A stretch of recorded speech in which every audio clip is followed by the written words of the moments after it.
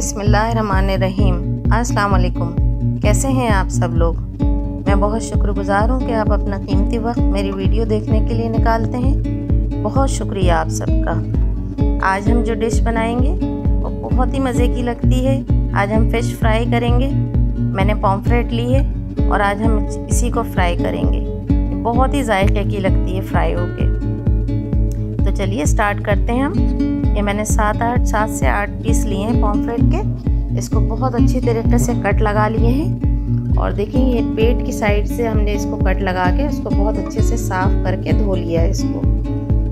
आप इस चीज़ का ख़ास ख्याल रखें कि फ़िश के अंदर कोई गंदगी, कोई ऐसी चीज़ ना रहे स्पेशली पेट के साइड पे, वरना बहुत स्मेल आती है खाने में। सफ़ाई का, इसमें बहुत सबसे ज़्यादा ख्याल सफ़ाई का रखें और ये देख के लें, फ़िश हमेशा के ताज़ी हो। अब हम इसमें थोड़ा सा नमक लगा देंगे। नमक और लेमन हम लगा के इसको तकरीबन आधे घंटे के लिए रख देंगे, ताकि जो एक फ़िश की महक होती है, एक अजीब सी उसकी स्मेल होती है, वो ख़त्म हो जाती है इस नमक और लेमन लगाने से। और इसमें गंदा गंदा पानी नीचे आ जाता है सब मैला मैला सा, उसको हम डिस्कार्ड कर देंगे और फिर हम मसाले लगाएँगे। ये देखें मैं अच्छी तरीके से लेमन, फ़िश में लेमन भी सब बहुत मज़े का लगता है, क्योंकि फ़िश का जो मीट होता है, वो बहुत फीका होता है, इसलिए इसमें लेमन और स्पाइसेस थोड़े तेज़ बहुत अच्छे लगते हैं। अब हम इसके अंदर नमक और ये लेमन लगा के इस तरह रख देंगे। फिर इसमें जितना भी पानी नीचे आएगा एक्सेस वो हम डिस्कार्ड करके ऊपर से फ़िश साफ़ साफ़ से उठा लेंगे।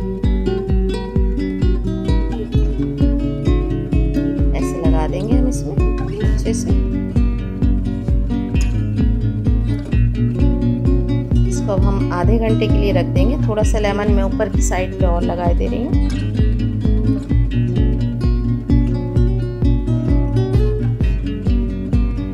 इसको हम तकरीबन हाफ़ एन आवर के लिए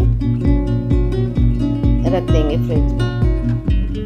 अब हम मसाले तैयार कर लेते हैं। टू टीस्पून मैंने तकरीबन रेड चिली पाउडर लिया है।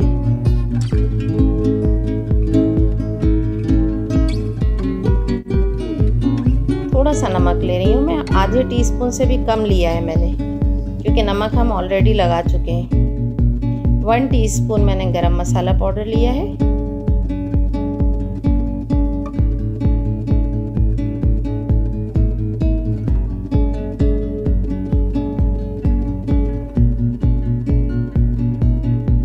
टीस्पून मैं गार्लिक पेस्ट ले रही हूँ। अच्छा इसमें जिंजर नहीं ऐड करते हैं गार्लिक डालेंगे। वन टीस्पून कसूरी मेथी ऐड कर रही हूँ।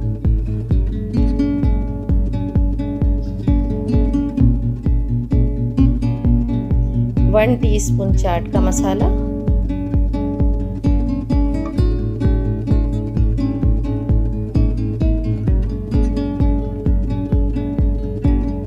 वन फोर्थ टीस्पून मैंने हल्दी पाउडर ऐड किया इसमें। बहुत थोड़ा सा। और दो टेबल स्पून तकरीबन इसके अंदर मैं लेमन जूस ऐड कर रही हूँ। अब हम इसको अच्छी तरीके से मिक्स कर लेंगे। थोड़ा सा लेमन जूस और ऐड कर देती हूँ ताकि ये मसाला अच्छे से मिक्स हो जाए। पानी इसमें ऐड नहीं करेंगे।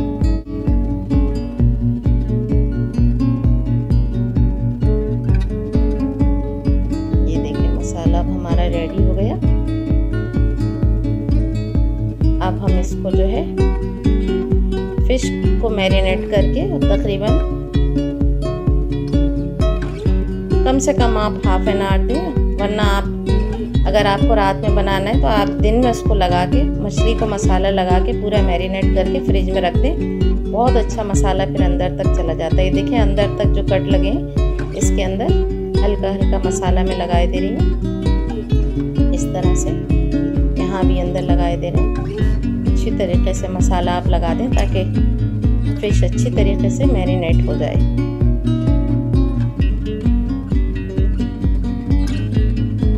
सारे पीस में इस तरह हम लगा देंगे।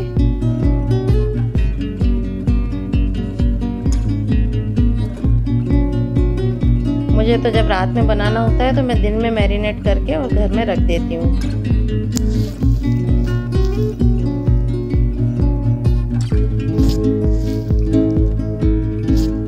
देखिए हम अच्छे से मसाला सारे उस पर लगा दे रहे हैं।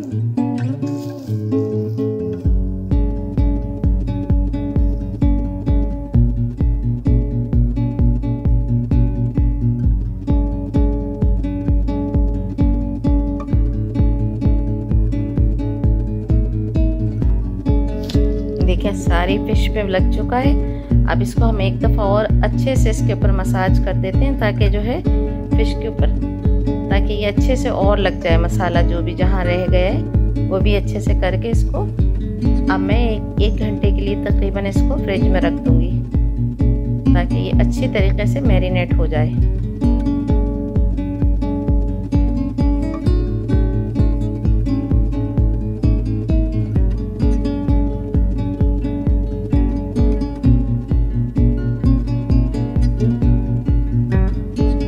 देखें मैंने एक कप तकरीबन बेसन लिया है और मैं वन फोर्थ कप इसके अंदर ब्रेड क्रम ऐड कर रही हूँ ताकि थोड़ा सा क्रिस्प रहे।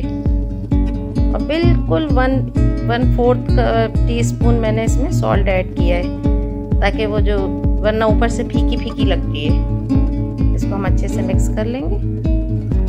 अब हम फ़िश को फ्राई करेंगे। एक घंटा हो चुका है मेरी फ़िश को मैरिनेट हुए हुए। अब हम इसको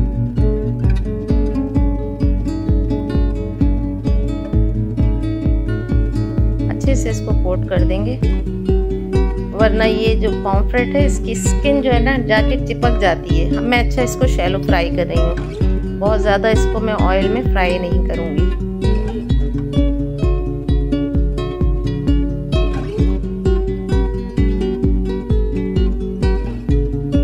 अच्छा आप पहले तो थोड़ा सा ऑयल गरम करके और इसको आप मीडियम उस पर तलें ताकि जो है ना अंदर तक ये सीख जाए, वरना फिर ये होगा कि ऊपर से इसकी स्किन जल जाएगी और अंदर जो है कच्ची रह जाएगी।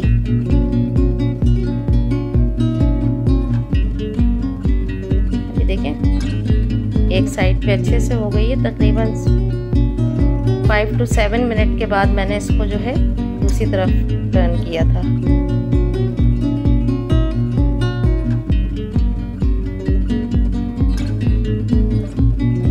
बिल्कुल लो फ्लेम रखी हुई है मैंने ताकि एक दफ़ा जब इस पर कलर आ जाए तो इसको आप लो फ्लेम कर दें, ताकि अच्छी तरीके से अंदर से सिक ये। वरना ऊपर से जलती जाएगी और अंदर से कच्ची रहेगी ये। क्योंकि इसका कलर भी बहुत डार्क हो जाए तो फिर देखने में अच्छी नहीं लगती है। हम थोड़ा सा ऐसे प्रेस करके देख लेंगे।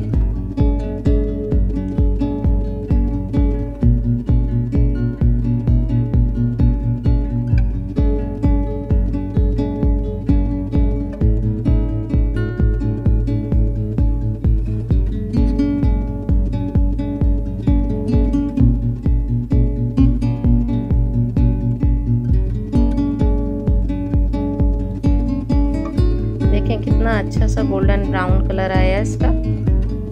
और ये हमारी ऑलमोस्ट डन हो चुकी है। Six two seven minute eight minute हो चुके हैं इसको तकरीबन। अच्छी तरीके से ये सीख गई है। देखें कितनी ज़बरदस्त सी फ़िश फ्राई हुई है। इस पर थोड़ा सा चाट का मसाला स्प्रिंकल कर दें ऊपर से। ये मैंने चाट का मसाला लिया हुआ है, इसको थोड़ा सा आप स्प्रिंकल कर दें। मेरी वीडियो को ज़रूर आप शेयर कीजिएगा लाइक कीजिएगा और इसको ज़रूर ट्राई कीजिएगा। इन आपको बहुत पसंद आएगी। और मेरी रेसिपी को अगर आपको पसंद आए तो मुझे ज़रूर बताइएगा कमेंट करके। जो मेरे चैनल पे नए हैं, ज़रूर सब्सक्राइब करें प्लीज़ उसे देखें कितनी ज़बरदस्त सी फ़िश क्रिस्पी फ़िश तैयार है तलकर। उम्मीद है आप सबको पसंद आएगी। मिलते हैं एक नई रेसिपी के साथ।